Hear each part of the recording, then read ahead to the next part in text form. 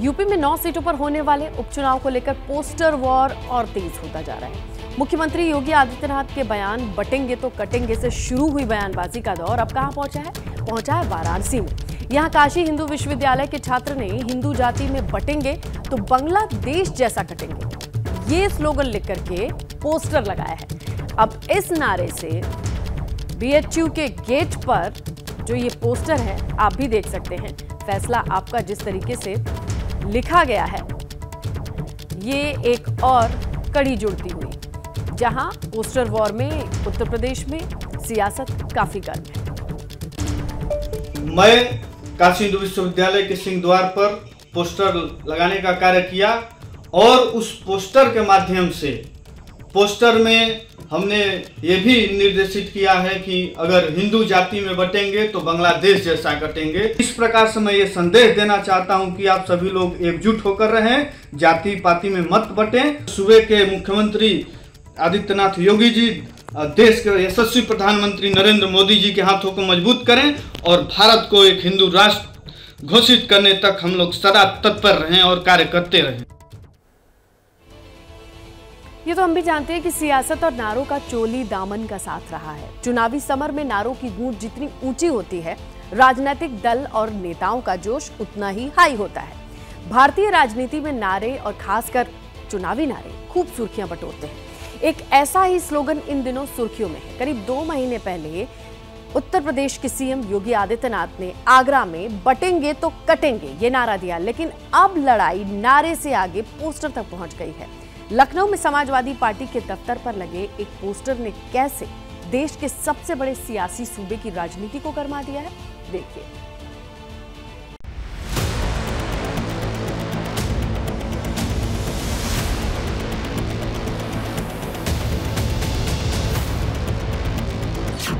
CM योगी का नारा, चढ़ा यूपी का सियासी पारा। एक रहेगा तो सेफ़ रहेगा। केवल जहरी उगलना इन लोगों का काम है। पीडीए जुड़ेगा और जीतेगा। और वो शुरुआत हो चुकी है। बटेंगे कटेंगे पीटेंगे जुड़ेंगे जीतेंगे और क्या? पीडीए जुड़ेगा तभी भारतीय जनता पार्टी की नफरत और बंटवारे की राजनीति को समाप्त किया जा सकेगा। कटेगा यूपी में उपचुनाव है पोस्टर नया दांव है। जो पोस्टर लगा हुआ है ये पोस्टर में लगाते रहिए कुछ करिए ना। पोस्टर पर सियासी क्लेश यूपी उपचुनाव विशेष। नारों और पोस्टर से भी उनकी चुनावी नैया पार नहीं होने वाली ये उपचुनाव सभी की सभी सीटों पर पूरी तरह से हारने वाली। बीजेपी कहती है बटेंगे तो कटेंगे। बटेंगे तो कटेंगे। समाजवादी पार्टी कहती है जुड़ेंगे तो जीतेंगे। मायावती कह रही हैं बीएसपी से जुड़ेंगे तो आगे बढ़ेंगे।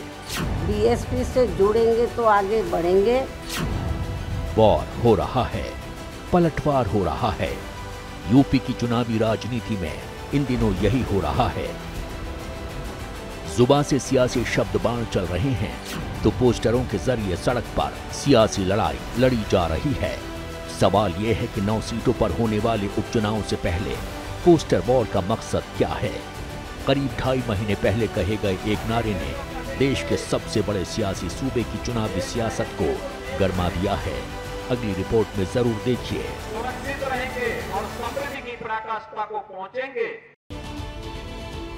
देखिए, पहली बार नहीं है कि जब लखनऊ में पोस्टर वॉर छिड़ा है। समाजवादी पार्टी दफ्तर के करीब करीब लगातार ऐसे पोस्टर लगाए जाते रहे हैं, जहाँ पर वो बज क्रिएट करते जैसे 27 के सत्ताधीश 27 के केवन हार ना बटेंगे, ना कटेंगे। पीडीए के संग रहेंगे और लेकर जुड़ेंगे तो जीतेंगे, ऐसे स्लोगन और ये चर्चा में भी रहते हैं। हालाँकि इन नारों में कभी सीधे सीधे तौर पर बीजेपी या सीएम योगी पर हमला होता नहीं दिखता था। पहली बार समाजवादी पार्टी की ओर से भारतीय जनता पार्टी पर हमलावर रुख अपनाते हुए पोस्टर लगाया गया है। बटेंगे तो कटेंगे का पोस्टर। जुड़ेंगे तो जीतेंगे का पोस्टर। सत्ताईस के सत्ताधीश से लेकर मठाधीश तक का पोस्टर। यूपी की चुनावी राजनीति में पोस्टर वाली पॉलिटिक्स का ये नया एपिसोड है, जो लखनऊ में समाजवादी पार्टी के दफ्तर के बाहर रिलीज़ हुआ है। समाजवादी पार्टी दफ्तर के बाहर एक और पोस्टर लगा है, और वो पोस्टर है, मठाधीश बांटेंगे और काटेंगे। पीडीए जोड़ेगी और जीतेगी। समाजवादी पार्टी के महाराजगंज के नेता अमित चौबे के द्वारा ये पोस्टर लगाया गया है। आज से दो तीन दिन पहले भी अमित चौबे ने एक और पोस्टर लगाया था और वो पोस्टर भी सपा दफ्तर के बाहर ही लगा है। उस पोस्टर को भी हम आपको दिखाएँगे। वो पोस्टर है 27 के सत्ताधीश, जो कि उनके जन्मदिन पर एक नारा दिया गया था और उसके बाद नीचे लिखा गया है, न बटेंगे, न कटेंगे, पीडीए के संग रहेंगे। तो कहीं ना कहीं उत्तर प्रदेश में हो रहे उपचुनाव के बीच समाजवादी पार्टी लगातार नए नए नारे दे रही है और इस बीच बीएसपी भी इन नारों के बीच उतर गई है। इस पोस्टर ने यूपी का सियासी पारा हाई कर दिया है। पोस्टर पर लिखा है, मठाधीश बांटेंगे और काटेंगे, पीडीए जोड़ेगी और जीतेगी। साफे के नारे के ज़रिए सीधे तौर पर सीएम योगी आदित्यनाथ पर निशाना साधने की कोशिश की गई है। पोस्टर पर दाई तरफ़ अखिलेश यादव की बड़ी सी तस्वीर है। बाई तरफ़ पोस्टर लगाने वाले अमित चौबे की तस्वीर है। मोबाइल नंबर भी लिखा गया है। पोस्टर क्यों लगाया? अमित चौबे ने बताया। देखिए, हमने जो पोस्टर लगाया है, वो उत्तर प्रदेश की भावनाओं को हमने अपने शब्दों में पिरोया है। देखिए, बाबा सूबे के मुख्यमंत्री पहले मठाधीश है या मुख्यमंत्री है? मुख्यमंत्री से पहले मठाधीश है। एक मठाधीश, एक पीठ का पिटिश्वर आप बताओ, जहाँ वो इंसानियत की बात करते अपना, अपने अपनत्व की बात करते वो हरियाणा में जाते हैं, बांटने बोलते हैं जो बांटेगा, वो कटेगा। बताओ आप, उत्तर प्रदेश की विकास की बात नहीं कर सकते कि मैंने ये डेवलपमेंट किया है। आप हरियाणा में जाते हो, मध्य प्रदेश में जाते हो महाराष्ट्र में जाते हो, आप बांटने और काटने की बात करते हो। लखनऊ में पोस्टर लगाने वाले चौबे जी हरियाणा से एमपी तक पहुँच गए। ये पहली बार नहीं है, जब लखनऊ में समाजवादी पार्टी के दफ्तर पर पोस्टर लगे हैं। एक दिन पहले इसी दीवार पर न बटेंगे, न कटेंगे। पीडीए के संग रहेंगे और 27 का सत्ताधीश जैसे पोस्टर लगाए गए थे। वैसे समाजवादी पार्टी के दफ्तर की दीवार देश के सबसे बड़े सियासी सूबे में छिड़े पोस्टर वॉर की तस्दीक खुद कर रही है। रोज नए पोस्टर लगाने की वजह क्या है? समाजवादी पार्टी से ही सुनिए। ये बांटेंगे, काटेंगे, ऐसा करेंगे, ये सब हिंसक नारे। और इस तरह की मानसिकता कोई नई नहीं है भारतीय जनता पार्टी के लिए। पहले भी हमने माननीय मुख्यमंत्री को इस तरह की भाषा का प्रयोग करते हुए देखा है। तो हम उनको रोज याद दिलाते हैं कि लोकतंत्र है। आप चुनकर आए हुए प्रतिनिधि हैं। आज हैं, कल कुर्सी नहीं होगी। समाजवादी पार्टी का कहना है कि पोस्टर्स के ज़रिए बीजेपी को सत्ता इसकी याद दिलाना है। तो दूसरी ओर बीजेपी का कहना है कि सिर्फ़ पोस्टर लगाने से चुनावी नैया पार नहीं लगती है। समाजवादी पार्टी रोज नए नारे, नए होर्डिंग, नए बैनर के साथ मैदान में सामने आ रही है। कंफ्यूज हो गई है, तय नहीं कर पा रही है कि नारा क्या रखे। लेकिन नारों और पोस्टर से भी उनकी चुनावी नैया पार नहीं होने वाली, ये उपचुनाव सभी की सभी सीटों पर बुरी तरह से हारने वाले। राजनीति में अपने अपने दावे होते हैं। लेकिन ये ज़रूर है कि यूपी की नौ विधानसभा सीटों के उपचुनाव में सीएम योगी आदित्यनाथ के नारे बटेंगे तो कटेंगे के असर की भी परख होगी। वजह यह है कि चुनावी संग्राम में बीजेपी को फ्रंट से लीड कर रहे सीएम योगी के नारे को जातीय गोलबंदी की काट के तौर पर देखा जा रहा है। यूपी की जिन नौ सीटों पर चुनाव होने हैं, उनमें कई सीटों पर जातीय फैक्टर हावी है। मसलन, फूलपुर सीसामाऊ कुंदर की और मीरापुर सीट पर मुस्लिम वोटर निर्णायक है। करहल, खैर, मझुआ और कटहरी जैसी सीट पर ओबीसी वोट अहम है। बटेंगे तो कटेंगे के स्लोगन को लेकर समाजवादी पार्टी यूँ ही नहीं निशाना साध रही है। इसके पीछे की राजनीति समझिए। पीएम मोदी की अगुवाई में बीजेपी ने गैर यादव, ओबीसी, गैर जाटव, दलित और सवर्ण जाति के वोटरों को जोड़कर नया सामाजिक समीकरण बनाया था। इसके दम पर बीजेपी लगातार चार चुनाव जीत चुकी है, यानी 2014 और 2019 का लोकसभा चुनाव और साल 2017 और 2022 का यूपी चुनाव।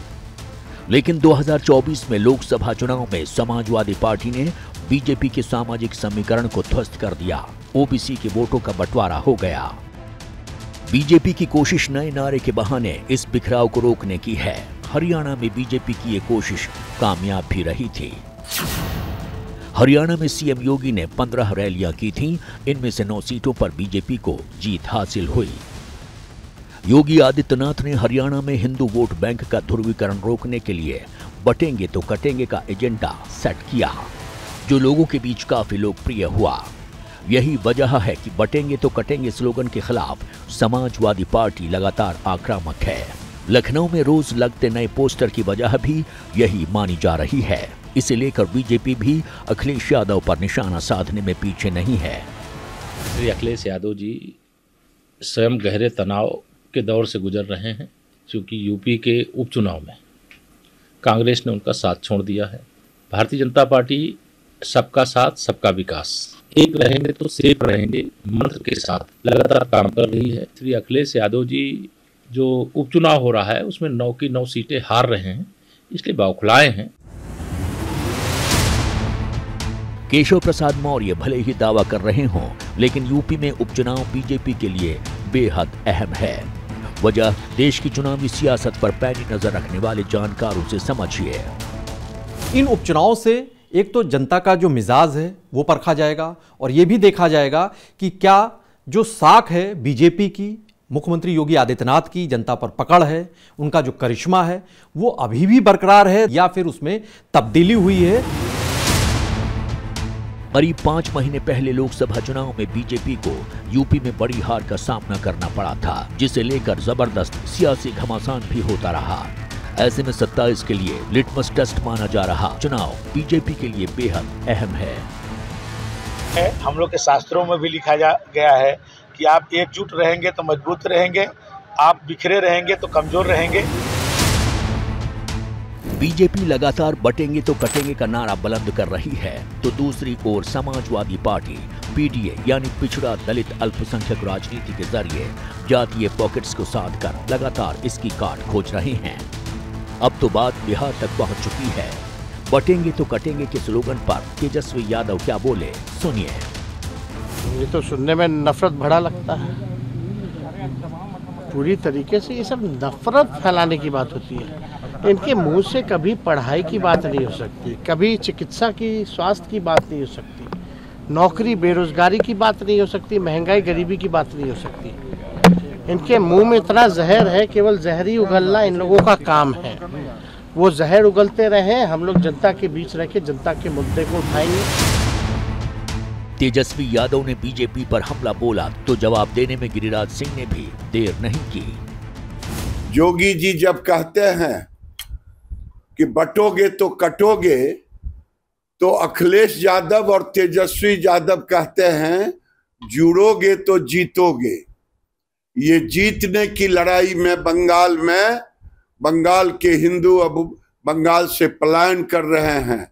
इस पर क्यों नहीं राहुल गांधी की ज़ुबान खुल रही है? बिहार में चुनाव होने में अभी साल भर का वक्त है, लेकिन यूपी में करीब डेढ़ हफ़्ते बाद तेरह नवंबर को उपचुनाव होने हैं, जिसके लिए बीजेपी और समाजवादी पार्टी की सियासी लड़ाई जबानी जंग से पोस्टर वॉर तक पहुँच चुकी है। अब हमला सीधे तौर पर सीएम योगी पर हो रहा है, क्योंकि वो गोरक्षा पीठ के पीठाधीश्वर हैं। समाजवादी पार्टी के इस नारे को अल्पसंख्यक वोट बैंक को एकजुट रखने और पीडीए पॉलिटिक्स को सियासी मैदान में बरकरार रखने की कोशिश के तौर पर भी देखा जा रहा है। नतीजा क्या होता है? 24 नवंबर को ही साफ़ होगा। फ़िलहाल इतना साफ़ है कि चुनाव तक यूपी में पोस्टर वॉर जारी रहेगा।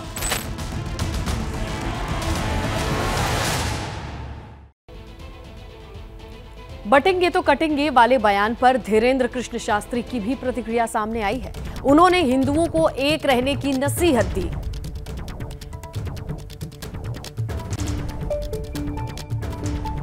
आपस में बटोगे तो निश्चित रूप से फुटकर फुटकर करके कटोगे। एक, हमारे पास जिम वाला आदमी आया, हमने एक लकड़ी दी, उसने तोड़ दी।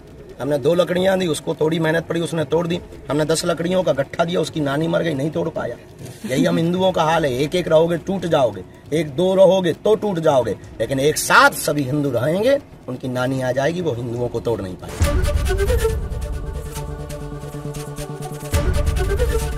एबीपी गंगा, खबर आपकी, जुबा आपकी।